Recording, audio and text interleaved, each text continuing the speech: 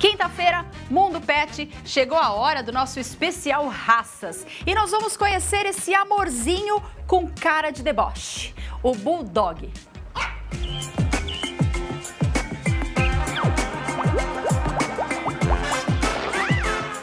Oi Mira, oi pessoal de casa. O Mundo Pet Especial Raças de hoje vai falar sobre essas fofurinhas aqui, ó. O Bulldog francês. Dá oi pra câmera. Vocês estão só interesseiro, né, na comida.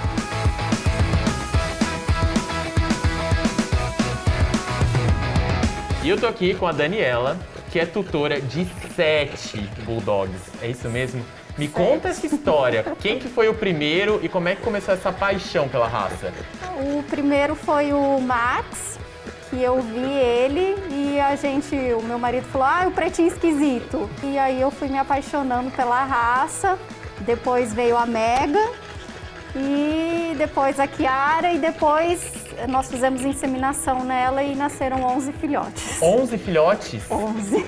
Meu Deus! Não é comum da raça ter, ter 11, né? Foi por causa Não. da inseminação. Até a inseminação não tem, Aham. normalmente.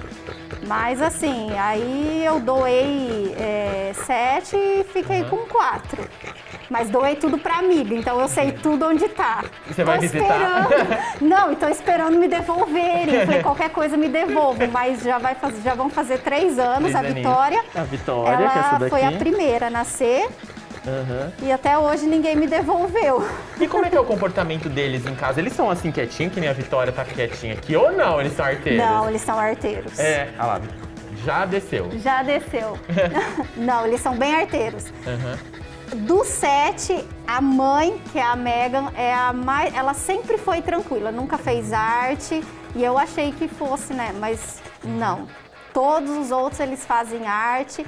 Eles já- os filhotes já vão fazer três anos e até hoje não para.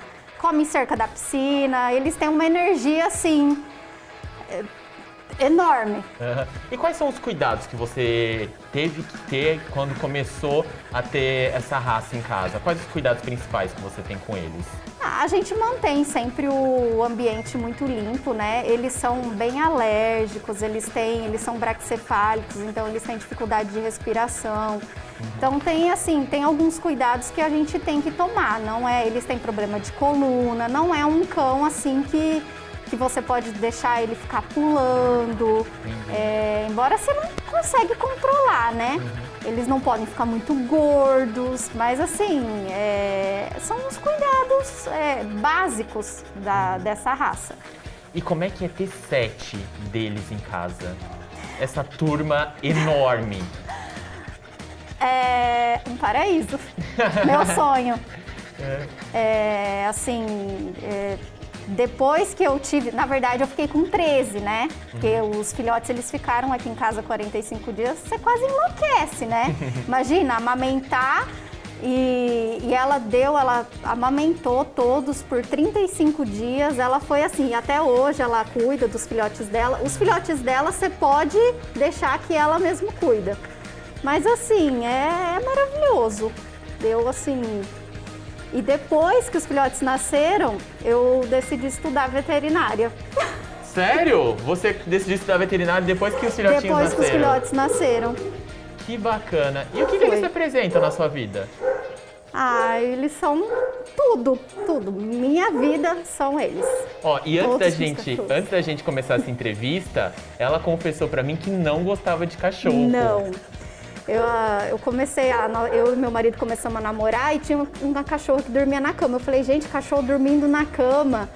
Depois do Max, até teve uma época que a gente se separou, nós voltamos por causa dele e a gente fala que ele é nosso cupido. E é desde então, assim, hoje a gente tem 10 cachorros, né? Sete são bulldogs. E. Ai, castrei todo mundo, porque não dá, né? Mas assim, é, hoje assim, eles são nossa vida. A gente, é, é, a maior preocupação de casa aqui realmente são eles, é o bem-estar deles mesmo.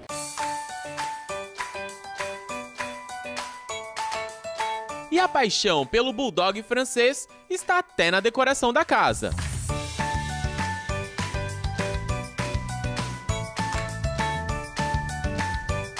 Bom, Bulldog é uma raça que eu falo que é básica, né? É bom porque tem pelinho curto, então não são cães que precisam ir para o banho tosa, né? Então pode dar em casa, é bem prático, né? Mas eu falo assim, o cuidado maior assim com a saúde é a questão da coluna. A gente tem que tomar muito cuidado na questão de ficar subindo descendo de sofá, muito degrau, escadas, porque eles têm propensão a ter uma hérnia de disco, né? Ou mesmo hemivértebras, que é um problema já congênito, que eles nascem, podem nascer com isso, tá? Então é mais problema mesmo articular e também problema de pele, né? Então é uma raça que é bem sensível em questão da pele.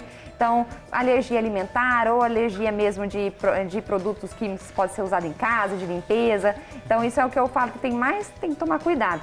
E também, que é muito importante, por serem braxcefálicos, que tem o focinho achatadinho, uhum. então a gente tem que tomar muito cuidado com o calor, né? Então, animais que vai brincar muito em dias muito quentes, a gente tem que tomar muito cuidado porque eles não, não têm uma respiração como um cachorrinho que tem um focinho mais comprido, então eles podem sofrer com isso. Sempre eu digo, vai estudar a raça que vocês querem estar tá levando para casa para saber se é o seu perfil também, né? Se vocês têm disponibilidade de brincar, se vocês têm tempo de estarem com eles para gastar energia, para levar passear, né? Se você tem um ambiente mais adequado em casa para eles, não deixar no, né, no sol, fora de casa o dia inteiro. Então, assim, saber que é uma raça que tem essa, essa necessidade, né? E que eu sempre digo, né? Tem que ter todos os cuidados preventivos. Então, não deixar o animal engordar, não deixar ficar subindo e descendo né, de, de sofá, cama, ambientes com, mais altos, né? Justamente para evitar o, o, impacto. Então, se a gente trabalhar com a prevenção, eles vão ter uma qualidade de vida em, em tanto, né? Pra, por muito tempo.